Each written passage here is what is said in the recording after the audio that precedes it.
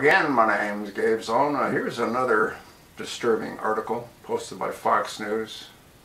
It was published on the 9th of February 2019.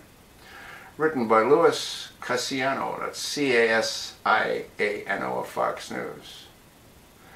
Pennsylvania man linked to repeated rape of five-year-old boy is detained in Florida, authorities. Garrick Landon Broom, 46, faces 216 counts, each of rape of a child, involuntary deviant sexual intercourse with a child, and other charges, authorities say.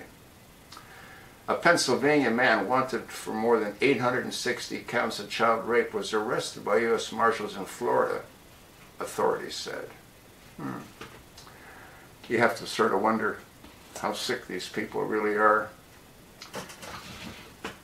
I don't know, folks. You'll see a photograph of this dirtbag. You have to ask yourself a question. What's wrong with people to do these kinds of things?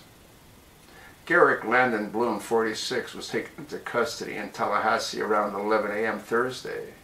He was wanted in Shippenville, Pennsylvania, where prosecutors believe he groomed and committed the crimes on a five-year-old boy for several years.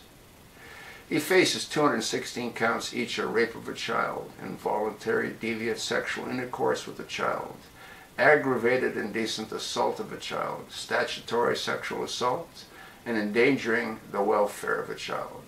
Broom fled, fled the state before he could be arrested, and he has been staying at a homeless shelter in Florida Marty West, U.S. Marshal Deputy Commander, told WCTV in Tallahassee.